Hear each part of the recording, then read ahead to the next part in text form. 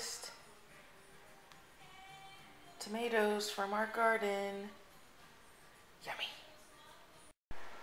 So this is day two of our project and we still don't have all of this tile removed. We should by the end of the night. We have to take off all this adhesive and it turns out we're going to have to patch this board, drywall, and do some kind of drywall repair, then paint it, then paint it the color we want, and we'll need like three coats. So this is probably going to be a couple week project. I think we bit off a lot.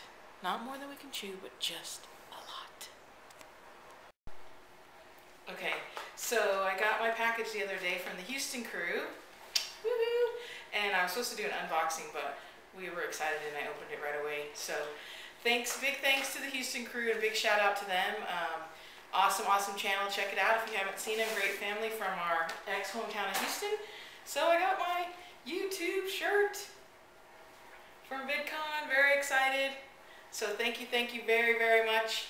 And uh, that's it. Thanks again. So we're back at Home Depot and all you home improvement gurus probably know or maybe you're such a guru that you don't have to go back but this is our second trip for one project that we thought was going to take us a day maybe day and a half and I bet you it takes us four days total. So but it'll be done and it'll be worth it because it'll be way cheaper than spend it paying for somebody right? Yes